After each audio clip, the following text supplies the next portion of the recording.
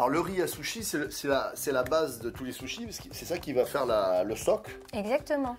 Et s'il est raté, Bah, s'il est raté, euh, ton sushi ou même tes maquis vont être complètement foutus. ça marche pas. C'est-à-dire qu'il faut arriver à avoir un riz euh, à la fois qui garde une certaine fermeté, mais qui s'amalgame bien et qui soit bien compact Ouais. pour que tes sushis ou même tes maquis se tiennent à la prise en main. Pour faire les nigiri et les maki Voilà. rolls, vous allez, vous allez ça fait. après. Alors on est parti Alors on est parti. On a un riz à sushi. Tout à fait. Alors, on a un riz sushi qui, là, qui est brut. Alors, Ouais. comme on le voit, il y a quand même beaucoup encore d'amidon. Donc on va le rincer- à peu près deux à trois fois pour retirer le trop plein d'excédent. Alors on le couvre d'eau, c'est ça Et on va le rincer deux, trois fois. Voilà, jusqu'à ce que l'eau devienne un peu plus claire.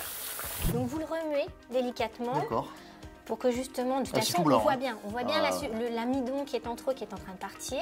Donc on le remue légèrement et on va l'égoutter et on va procéder à ce, on va reprendre l'opération deux trois fois. D'accord. En fait, on enlève l'amidon de surface. L'excédent, voilà. Ok. Alors là, je, je le rince et on recommence. Voilà, alors la deuxième passage, donc pareil, Et on va on renouveler. et on voit déjà que l'eau est déjà plus claire. hein. C'est clair. hein. Alors là, c'est le dernier passage. Donc comme on voit, ça y est, l'eau commence à devenir claire. Ça n'a rien à voir. hein. Euh, non, ça n'a absolument rien à voir. Et là, c'est bon. On va pouvoir rincer le riz pour la dernière fois. Donc, on va l'égoutter. Et là, par contre, ce qui est important, c'est de laisser égoutter le riz à peu près une dizaine de minutes pour que toute la surcharge en eau soit, soit s'en aille. Alors, ça y est, c'est bon. Notre riz est bien égoutté. Donc, on l'a laissé s'égoutter 10 minutes. Donc, effectivement, tu vois, il y a un petit encore surplus blanc, en bas hein. et encore un peu blanc. Alors là, je mets tout mon riz. On tapote bien pour que les grains ne se perdent pas. Là, on n'a pas fait chauffer encore. hein. Non, rien du tout. On n'a pas encore lancé. Donc maintenant, on va rajouter le- l'eau. Donc il faut savoir que de toute façon, c'est très simple. Pour un volume de riz, tu mets 1,3 volume d'eau. D'accord. Un volume de riz, 1,3 volume d'eau. Voilà. D'accord. Alors là, il faut que ça couvre largement. Voilà, hein. donc là, il faut que ça couvre largement. Et ce qu'on va mettre, donc notre feu, donc toujours un feu moyen. C'est-à-dire que. euh, Pas fond. Non, pas fort. D'accord. Pas fort. C'est-à-dire qu'il faut porter le riz à ébullition. Donc là, on a ébullition. On, Alors ça y est, on, a les premiers vérifie, bouillons. hein, on vérifie. On voit qu'il y ait de. Non, exactement, qu'il n'y ait Voilà. pas de petits grumeaux qui se. Enfin, donc là, on va baisser le feu. On va mettre le feu à feu moyen. Et ce qu'on va C'est ça que t'appelles un feu moyen là? Voilà, Là. feu moyen. C'est-à-dire que c'est un petit bouillon, pas trop violent. Voilà. Ok. Et ce qu'on va faire, ce qui est très important, c'est qu'on va couvrir. On met pas de sel, hein? Non, surtout pas. On ne sale jamais un riz à sushi. D'accord. On ne sale jamais un riz à sushi. Ah, D'accord? Voilà. On ne sale jamais un riz à sushi.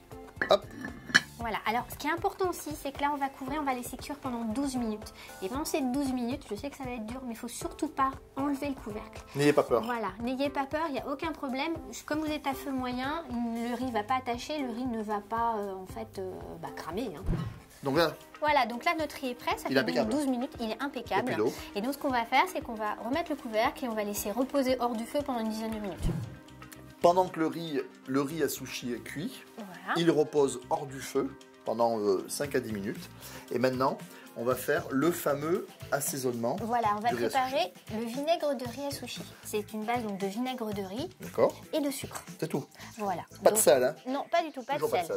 Donc ce qu'on va faire, c'est qu'on voilà, on a Pas mal de sucre, hein. voilà, pas mal de sucre. Une bonne part de sucre. Euh, on va dissoudre, faire dissoudre le sucre dans le vinaigre. Et une fois que le sucre est bien dissous, Ouais. et ben, le Basta. vinaigre du sushi On fait pas bouillir. Euh, non, pas frémissement. trop. Voilà, frémissement, pas plus. Faut vraiment, en fait, faut dissoudre le sucre. Le but n'est pas de faire bouillir le vinaigre. Ouais, c'est pas une évaporation. Non, euh, voilà. D'accord. Je stoppe le feu. Voilà, tu stops. Bah, comme Tout on peut fondu. le voir, tout est fondu. Ah, vous avez vu, c'est nickel. hein. Notre riz, ça fait 10 minutes. Voilà, ça fait 10 minutes. Est-ce qu'il est bien là Alors, on va regarder, justement, on va vérifier. Ben, il m'a l'air parfait. Ah, il est encore chaud. Hein. Voilà, on le transvase.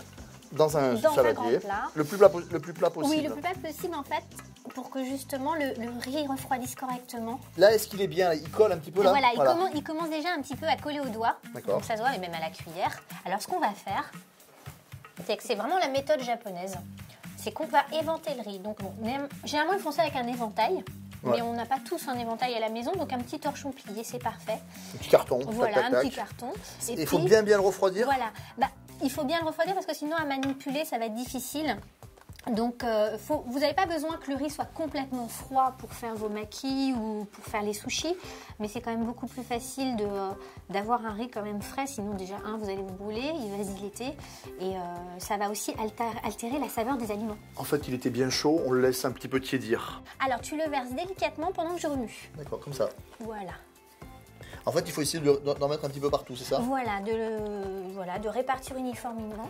Il faut pas trop le travailler le riz, c'est ça Alors, la chose, c'est qu'il faut remuer le riz euh, pour que justement le, le vinaigre soit bien réparti et tu évites comme ça qu'il s'agglutine.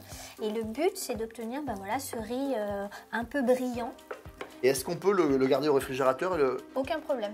En fait, on peut le faire la veille. On peut le faire la veille, le conserver 24 heures au réfrigérateur. Et moi, j'ai même une petite astuce. Ah. Euh, C'est-à-dire que quand votre riz sort du réfrigérateur, il est très froid et parfois très difficile à manier, euh, à manipuler. Il suffit en fait de le rajouter, enfin de le, ré- le réchauffer une petite minute au micro-ondes. légèrement pour le Voilà, pour, le tiédir. et il sera beaucoup plus facile à utiliser et euh, vous pourrez faire vos sushis sans aucun problème. J'espère qu'on vous a donné envie de faire votre riz à sushi et que vous, vous- vous- vous êtes en train de vous dire, mais en fait, c'est super simple. C'est très très simple à faire. Voilà, il faut juste respecter bien les choses. Et vous avez vu, hein, du temps, du repos, et puis après, le vinaigre et ça roule. Ok? À très bientôt.